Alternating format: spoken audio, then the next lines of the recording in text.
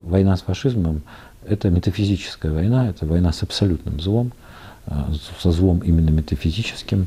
Эту войну выиграл советский народ, он выиграл ее под руководством Сталина. Ну и моя мать, которая ненавидела Сталина, потому что Сталин как бы разрушил семью, арестовал деда там, и все что угодно, она всегда говорила, что отделять личность э, от победы невозможно, что это абсолютно смехотворно, что говорить, что страна вопреки э, э, Сталину выиграла войну, это просто смешно.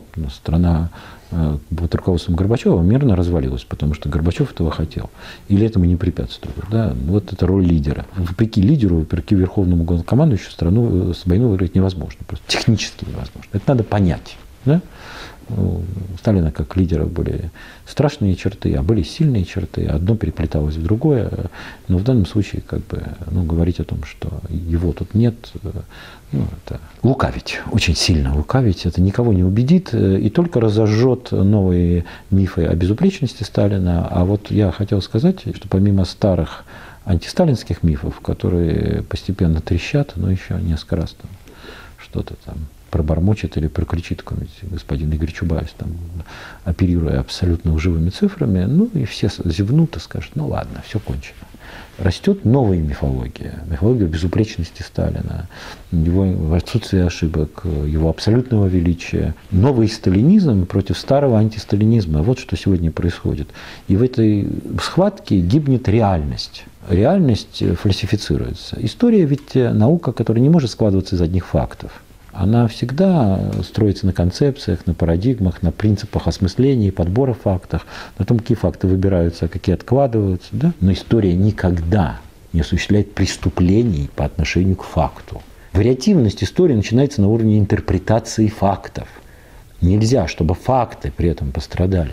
Нельзя, чтобы неправильно э, считалась численность наших потерь. Нельзя, чтобы неправильно считалась численность наших вооруженных сил. Нельзя, чтобы неправильно считалось это, это, это. Нельзя, чтобы говорили, что мы победили лишь так сказать, мясом, когда ну, очень известные военные Германии когда-то мне говорили, что там, у русских там, в конце войны было там, на столько-то километров фронта, столько-то заводов, а мы их остановить не могли. Они шли как нож в масло. Есть правда, она сложная. Есть трагическое начало войны, есть э, как бы изъяны войны, есть героизм войны, есть э, негативизм войны. Все вместе, все собрано. Но это метафизическая война, это священная война, в которой было истреблено мировое зло, которое бы уничтожило человечество, прекратило бы гуманизм, прекратило бы историю, прекратило бы очень и очень много. Нужно было понимать, какова была цена погибели Гитлера. Это сделал наш народ – под этим руководством, с этой идеологией, когда говорят, что вопреки идеологии, вопреки прочему, ну вот в 2014 году не было никакой супердержавы, суперрейха Гитлера. И что, выиграли? Нет, да? Не выиграли. А тут выиграли, победили. Страшной ценой победили, страшно. Еще бы более страшная была цена, если проиграли.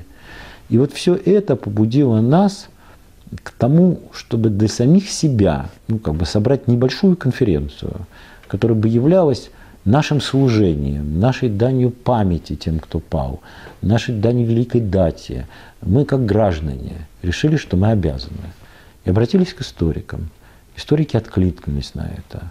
И произошла вот эта небольшая конференция.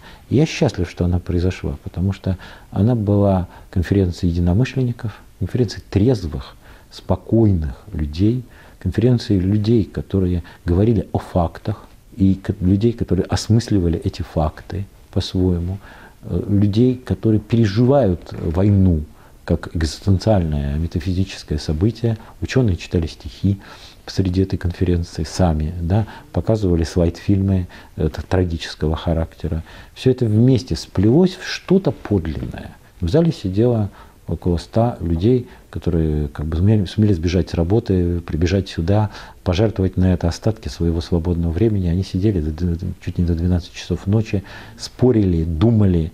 В этом не было никакой мифологии, никакого экстаза. В этом был единственный нерв внутренний. Желание получить что-то реальное. Лучше любая правда, чем, так сказать, ложь. И правда о войне абсолютно необходима. Она очень трудно добывается. Многие архивы закрытые. Очень мало людей, которые занимаются этим осмыслением. Но эти люди есть вопреки всему, что сделано, гигантским ударом, которые нанесены по нашему интеллектуальному сословию, есть историки. Есть молодые люди, которые страстно добывают эти цифры, которые страстно живут этой исторической правдой.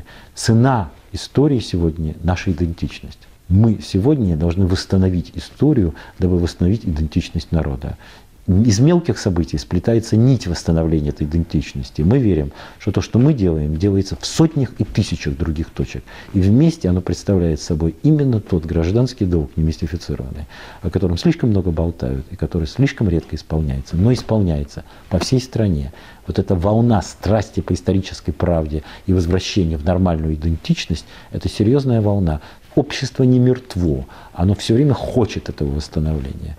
И главная наша задача сейчас помочь историкам и соединить историков с обществом с тем, чтобы это все было восстановлено.